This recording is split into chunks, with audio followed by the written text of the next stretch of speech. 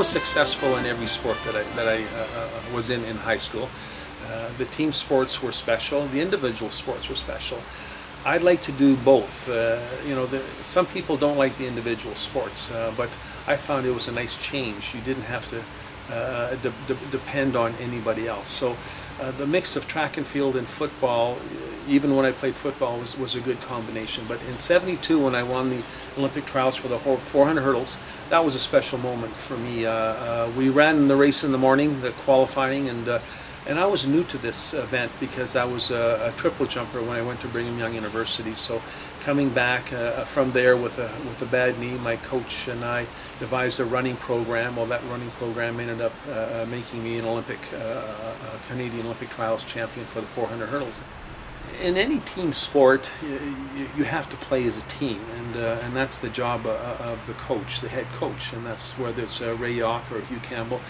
Uh, you get uh, good quality players and you, you, form them and put them in situations. You have good coaches, uh, and uh, and then you, you you live or die as a family, if you know what I'm saying. So so that was our attitude in those days, and uh, it's not that uh, people weren't better than us. It's just that you know you know 12 players at a time on offense and on defense and then on special teams came together and uh, worked with each other and, and, we had great leadership in the room too I mean when you have guys like you know Cutler and Wilkinson and, and, and Bruce Lemmerman and Dan Kepley and uh, the, list, the, list, goes on we had good Canadians good Americans and uh, they were all there for the for the same reason you know a lot of them had tried out for other teams, in fact, and did not make them. So they had something to prove, and uh, and everything seemed to uh, seemed to come together. And it, it, doesn't always happen that way, you know. I just uh, I remember playing against Toronto. They had some great individual players uh, uh, then, and they brought him in from the states, and uh, the,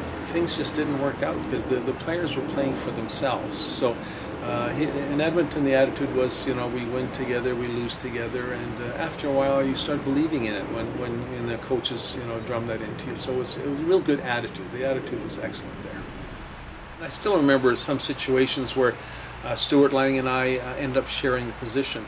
Uh, Coach Faragalli came up to us and and, uh, and says, well, you know, we're going to play this way, you know, in preseason, and then and when the season started, he switched us into different positions, and uh, and then we were waiting for him to say, "Well, you start or you start," and and he's he didn't say that. He says, "Well, coach, who do you want to start?"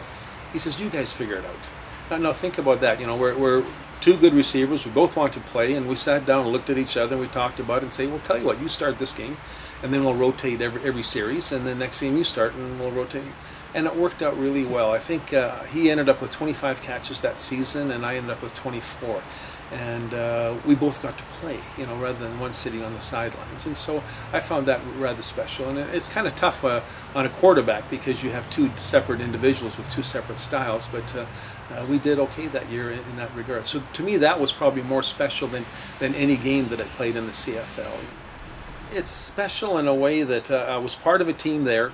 Uh, the Alberta Sports uh, Hall of Fame, we've, we've been through it several times. We've watched quite a few inductions in there, and, and people have made uh, large commitments uh, in Alberta sport. And uh, yeah, it's nice to see the teams from, from our era being recognized, and because we had some great teams. We made our marks, marks in history, so it was, I was very fortunate to be uh, like I said, a track athlete that played football in the right place at the right time, and we had some great coaches and, and, and great uh, uh, athletes beside us, and so it, it was pretty special in Edmonton in those seven years that I was there.